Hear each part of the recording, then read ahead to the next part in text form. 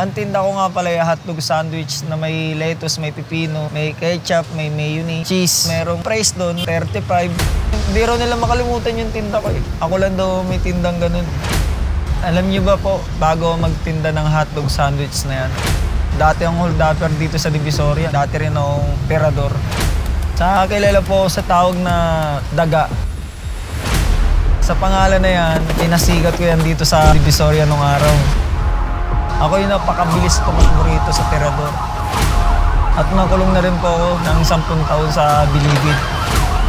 Kung sama lang ng pagkatao, sobra-sobra meron ako na.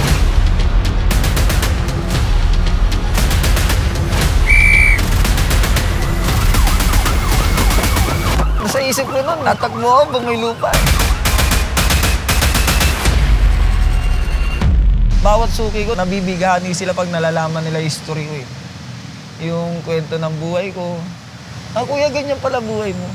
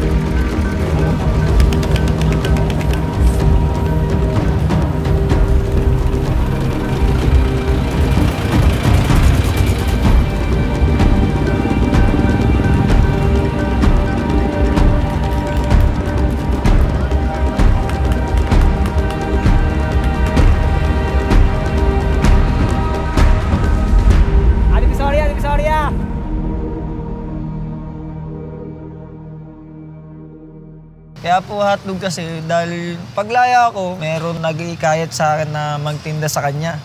Doon ko sa kanya natutunan yan.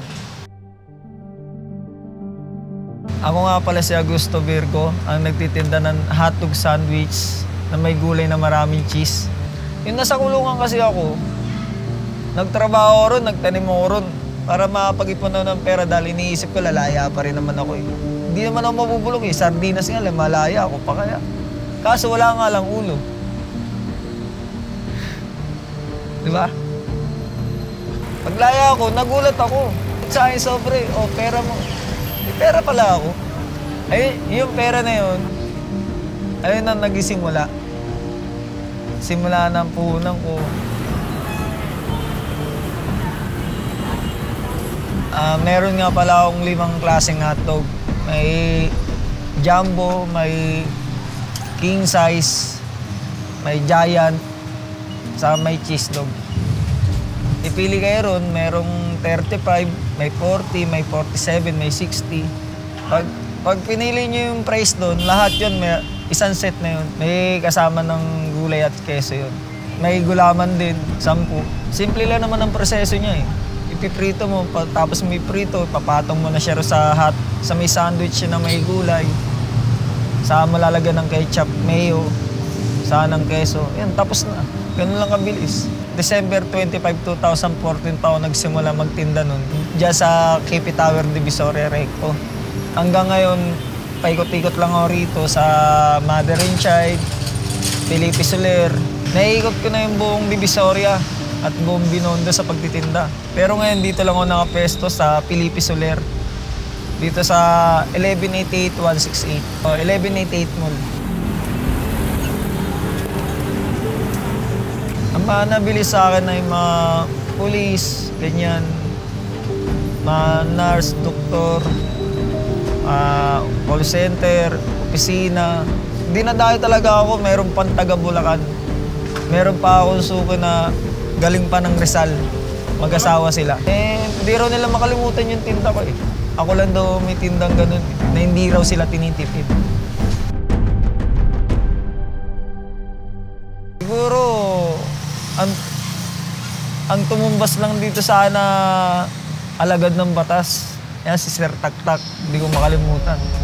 Simula Asuncion hang- hanggang Tutuban Mall, nagabulang kami. Gigil na gigil sa kanya, bakit ka? Ako lang daw nakakita niya na napakatulin na tirador dito sa Recto, Divisoria. Nung araw sa yung hindi ko kilala yung Diyos.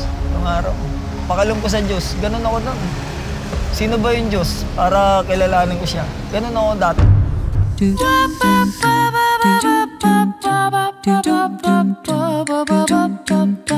Kaya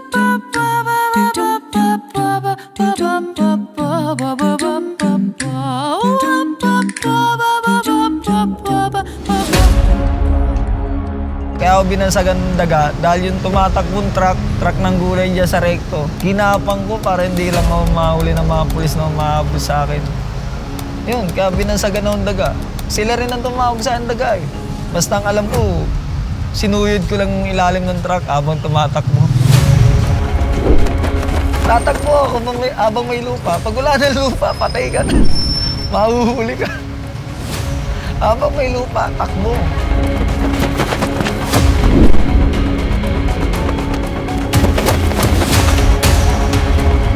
Ayun na nasa isip ko eh. Minsan nga, sinusuntok na ako, hindi ko pa nakikita yung suntok. Nalang bilis ko nga tumakbo eh. Pangalam ko sa suntok niya, importante tatakbo ko. Ganun ako kapusok.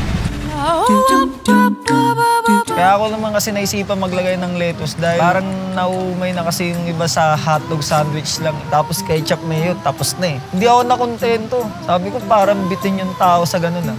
Doon ako nag-isip na dagdagan ng gulay na lettuce. Sa dito lang naman yung divisoria, dito lang naman yung baksakan ng gulay. Kaya medyo mababa rin talaga yung lettuce dito. Ayun na yung tinda ko ngayon.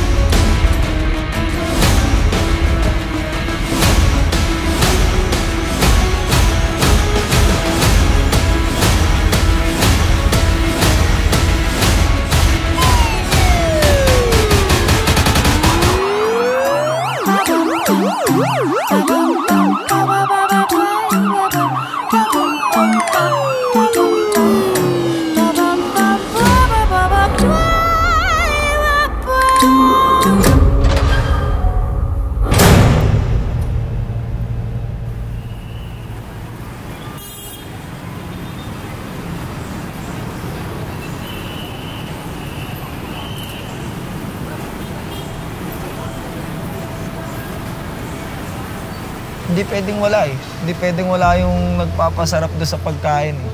Dahil pag winala mo yun, wala kang bayad. Dahil yung inaasahan, yung kasi ang inaasahan nila ron, yung gulay na yun. Maliban sa marami kayong gulay, marami rin kayong cheese. Ba't ka mo? Yung cheese kasi na magnolia, dito lang yan sa Piña Rubia na bibili, sa bodega ng Tender Juicy. Kaya ako naman naisipan yun dahil siyempre gusto ko, mapangiti ko yung customer ko. Eh, nahuli kasi ako, nasa isip ko nun, masaya pa ako eh. Dahil, dahil buhay pa ako, dahil binigyan pa ako ng pagkakataon na mabuhay. Kaya yung pagdating ko sa juvenile, masaya pa ako dahil andun ako sa juvenile. Nakakain ako ng apat na beses sa araw. Juvenile, NYRC Youth.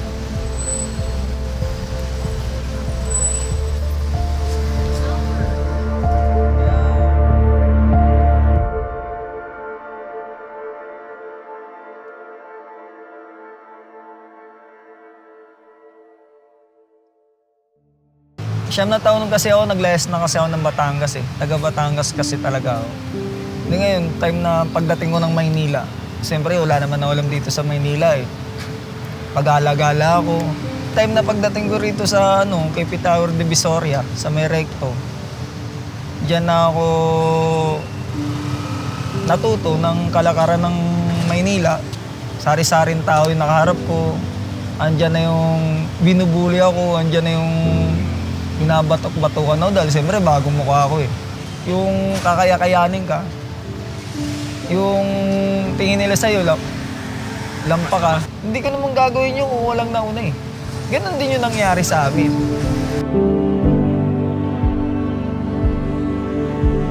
May sama kasi ako sa magulang ko noon.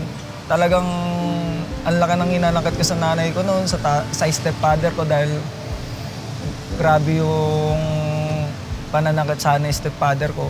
Kaya ako naglayas dahil nga sa pananakit ng stepfather ko, naisip-isip ko na andito na pala ako sa panibagong mundo ko. Pagdating ko ng Maynila, dito sa Divisoria Cape Tower, diyan ako natuto ng sari-saring kawalang yan.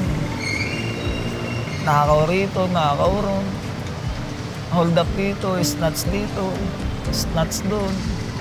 Hindi ko alam kung anong gagawin ko sa buhay ko nun dahil wala eh, bata pa ako nun eh. Gusto kong sabayan lahat ng mapipera kong kaibigan. Gusto ko silang kung anong gusto, kung anong meron sila, gusto kong tumbasan. Ilang kaso po yung ginawa ko nun. Siguro po hindi po mabilang po sa ma daliri ko sa kamay, sa pa. Kasi nasa isip ko nun, wala akong alam eh. Ano bang malay ko dyan? Wala akong alam. Alam ko ba itong magnanakaw? Hindi ko alam dahil nakita ko, ginaya ko. Ano naman din nagagawa yan dahil may natularan eh. Sa edad na 12 anyos ah, sa edad na 12 anyos ako nagsimula. Tatanungin ko yung mga nakakaunawa sa mga nakakatanda. May mangmang ba yung 12 anyos na tirador? Na alam niya ba yung ginagawa niya masama? Ano ba dapat ang gumabay sa 12 anyos? Di ba yung magulang? Pero nasaan yung magulang? Sabay na lang din ng pusok yun. Pusok namin para hindi kami magutom. Siyempre, ako lang mag-isa nung araw dito eh. Ngayon, kung sisisihin niyo ako na naglako ko sa inyo, wala akong magagawa dahil pag nangingi ka galit pa yung tao na hiningi mo eh. Sasabihin pa sa'yo, saan magulang mo? Kailan pa ba nilang tanong yun? Kung gusto nila magbigay, magbigay sila. Kung ayaw nila magbigay, huwag na nilang sabihan pa na masasama yun ang hihingi sa kanila. Dahil ba't ka mo? Kaya natututo magnakaw yung tao dahil di sa, sasalit, sa masasakit na salita ng taong hinihingian ang nagugutom. Ngayon, kung alam, kung nasa isip ko, hindi masama yung ginawa ko, masama yun. Hindi ko naman kailangan ilihim yun sa inyo eh. Yung dating ako, nakalibing na yun. Ibang ako na to.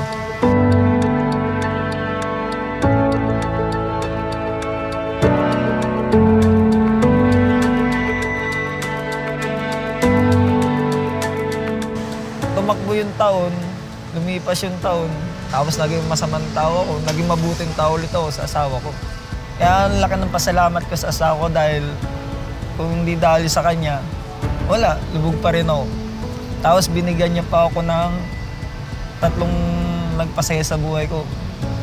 Yung dalawang anak kong lalaki, sa yung bunso kong babae. Dahil kung hindi sila dumating sa akin, yung, baka yung puso ko hindi ko pa matanggal. Katulad nung yung napagtripan ako, sinapak ako, hindi ako pabalag.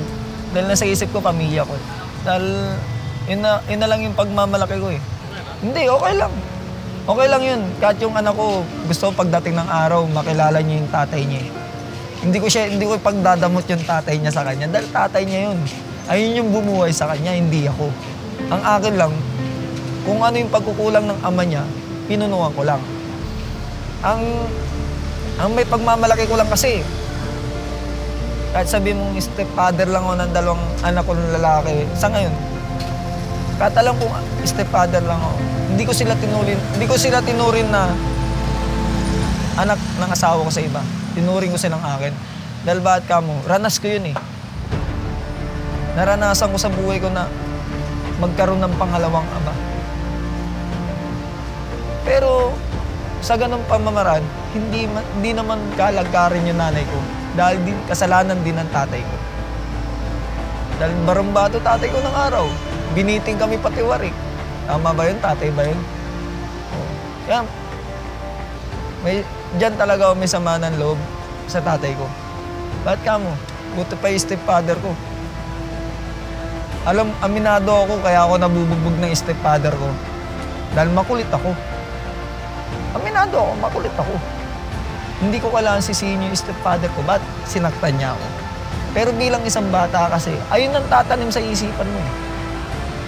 Kaya yung sa, sa anak ng asawa ko, hindi ko minumulat sa kanya. Pag nana, nanakit ako, pataos ko manakit, napangaralan ko. Alam mo bakit kita napalo? Hindi ko kasi pinaparanas yung dinanas ko sa nakaraan ko.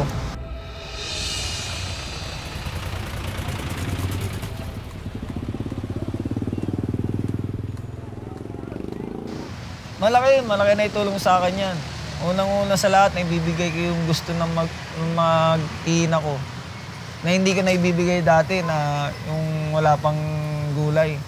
Pero ngayon, kung ano ituro ng anak ko na ibibigay ko dahil ah nag-viral sa TikTok, ito lang eh.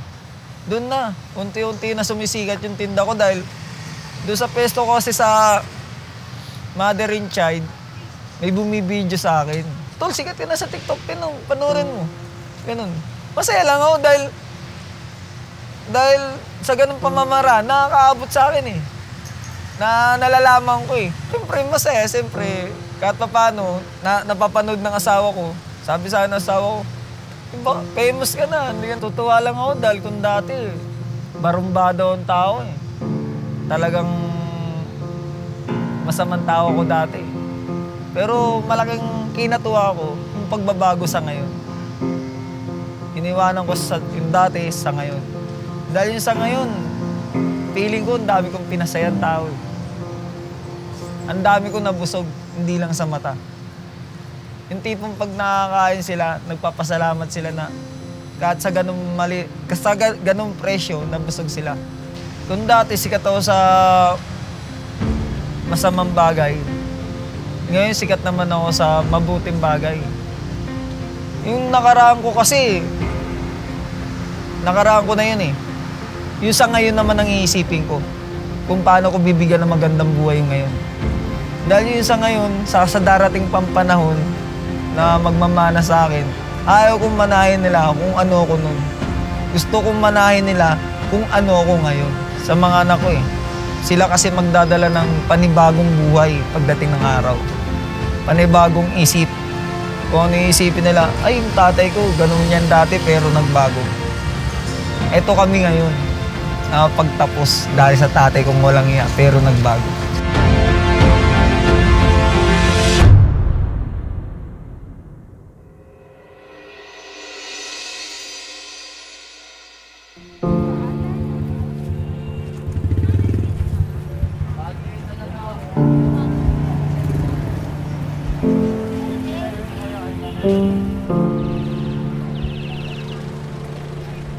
Masarap sa laya.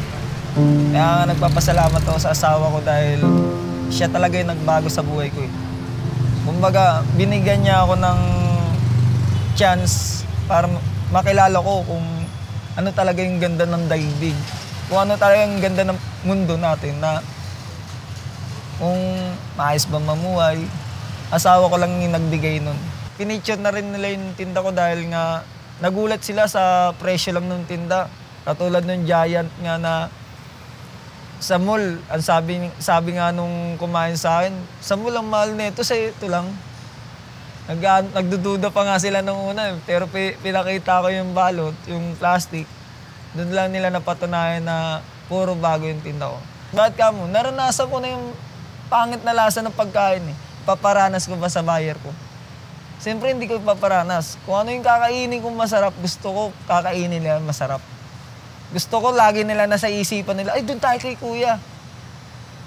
Gusto ko magdadala pa sila ng ilang buyer. Katulad kanina. Oh. Isa lang yung bumili ng nakaraan linggo sa akin. Kanina, pito sila. Ang laki ng puhunan. Pero hindi ko inaano na taasan yung benta ko dahil ba't ka tataasan mo? Hindi naman lahat ng bumibili sa akin mayaman eh. May bumibili rin sa akin mahirap. Gipit. Kaya hindi natin kailangan taasan yung produkto natin porket masarap, tataasan na natin. Sa pagbabago naman, kaya ako madali nakuha yun. Dahil meron akong pinagugutan. Yung isang sarento. Hindi ko nababanggitin yung pangalan. Pero napakabuti niyang pulis. Napakabait niya. Siya lang yung nakilala kong pulis na hindi nanakit ng magnanakaw rito sa Manila. Hindi niya ako nasaktan. Alam mo, unang-unang salita niya sa akin, ang ina mo, dagan, dito ka na naman. Wala kang bansawa sa presinto namin. Ayun lang. Ang hindi, hindi ko lang sa kanya na ano, yung tadyakan niya ako, halos karamihan ng pulis na humawak sa akin dati. Bago ako makarating ng presinto, lantang gulay ako. Pero siya talaga, kinabilaban ko siya. Kaya sir, tandaan mo sir, lagi kang kasama sa pagdadasal ko. Sana umaba pa buhay mo dahil kung di dahil sa'yo, hindi ko maiisip yung kamalian ko nung araw na ah, ganito pala si Daga. Ah, na may pulis na hindi na nakit sa kanya kahit isa. May pulis na inunawa siya kung bakit siya ganun. May pulis na alam kung kung ano yung nangyayari sa buhay niya. Hindi katulad nung iba na hindi nila inalam kung bakit mo ginawa yung krimen, kung bakit ka gumawa ng ganong kasalanan, kung nakakain ba ng tatlong beses ang araw to, kung may pera ba to. Ayun ang hindi nila alam eh. Ang mahalaga lang sa kanila, mapakawala nila yung kamao nila. Pero sa akin, wala na yun. Nagpapasalamat ako sa lahat ng pulis na nakit sa akin dahil sa inyo, naging matibay yung katawan ko. Dahil sa inyo, nagkaroon ako ng takot sa pulis. At nag, nag, nagkaroon ako ng respeto at paggalang sa inyo. Pero sa ngayon, ah, nagpapasalamat ako sa stepfather ko dahil hindi niya pinabayaan yung mama ko. Kaya doon lang, napatawad ko na sila. Hindi, naman, hindi naman natin kailangan magtanong ng sama ng loob eh. Lalo-lalo na sa magulang. Kung ano yung kasalanan ng magulang, hindi natin kayang tumbasan yung kung ano yung paghihirap nila sa atin. Dahil yung magulang kasi, kung wala sila, wala ako eh. Kung walang nanay, tatay, mabubuhay ka ba? Ma- andito ka ba sa lipunan na to?